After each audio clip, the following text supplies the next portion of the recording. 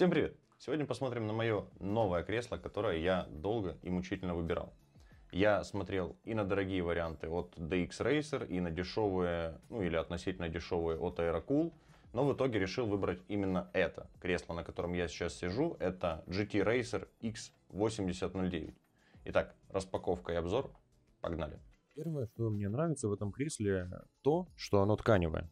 Это было первым и основным критерием при выборе этого кресла. У меня был негативный опыт владения креслами из эко-кожи, поэтому тут износоустойчивая моющаяся ткань не маркового серого цвета. Да, задняя часть кресла все-таки сделана из эко-кожи, но радует хотя бы то, что летом в жаркие дни ты не будешь прилипать и потеть, сидя в своем кресле. Наполнитель здесь не сильно пружинистый, довольно жесткий, что тоже очень хорошо, потому как я считаю, что сидеть на слишком мягком кресле вредно для спины. Я сижу на этом кресле уже около двух недель, и учитывая то, что я не маленького роста и довольно много вешу, наполнитель пока никак не продавился. Спинки такой же наполнитель и ребра жесткости поперек. Сам каркас же металлический, крашеный, все швы сварные.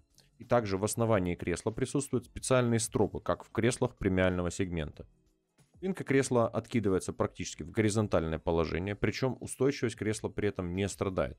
Также имеется подголовник и довольно большая и приятная поясничная подушка, которую я не использую, просто потому что мне неудобно. Подлокотники у этого кресла широкие, регулируются в трех направлениях, вверх и вниз, вперед и назад, а также вокруг своей оси, что позволяет выставить их так, как удобно.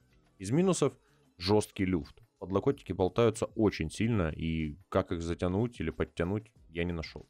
Основание кресла это алюминиевая пятилучевая крестовина. Колеса довольно большие, прорезиненные и довольно тихие. Я пробовал кататься на этом кресле по ламинату, плитке, линолеуму и каких-то посторонних шумов или неудобств не заметил.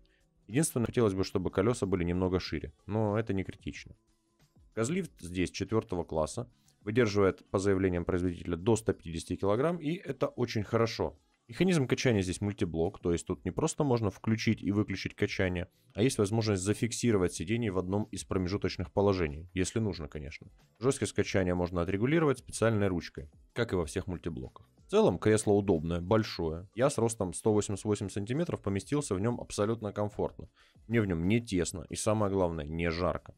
В отличие от моего прошлого кресла, в этом я могу просидеть хоть целый день. В общем, лично моя оценка это 8 из 10. Один балл я снял за сильно люфтящие подлокотники, и второй балл снял за эко-кожу на спинке кресла. Ну, вроде все сказал. Всем спасибо, ссылки все внизу. Всем пока.